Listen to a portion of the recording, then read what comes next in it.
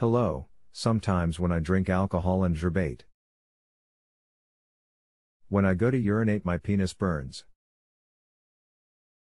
When it started, I was not having sex with anybody or using drugs.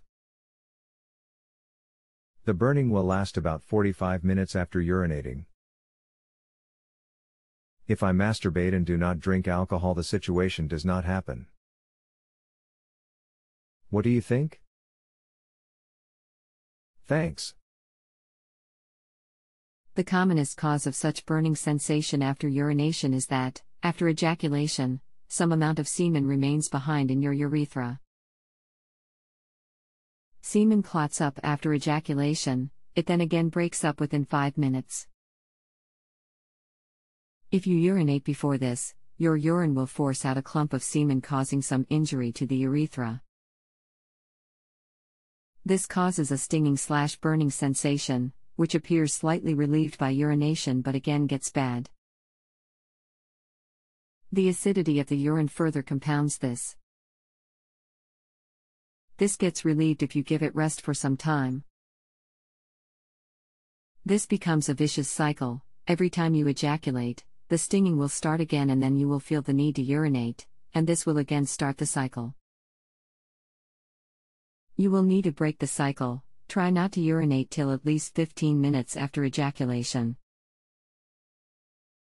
Also take urinary alkalizers like Bisitra or Citralith 2 to 3 TSF twice daily for about 5 days, this will give relief.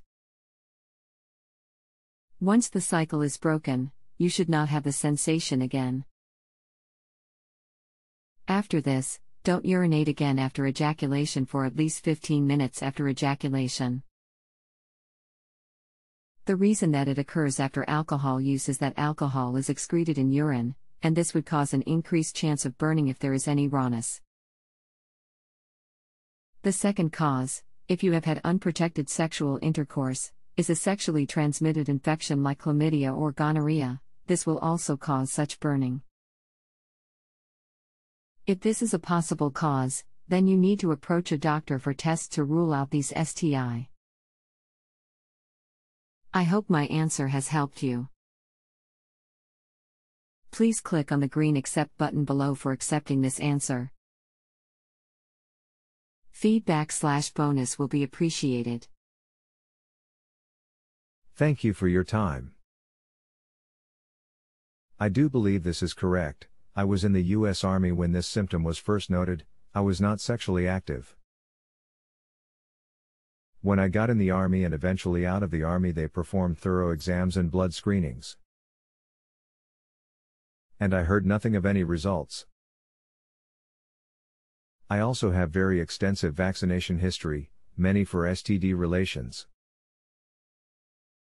I'm very healthy and live a good life. Thanks. If you have a health question and want to chat with a doctor now, visit justanswer.com/ythealth.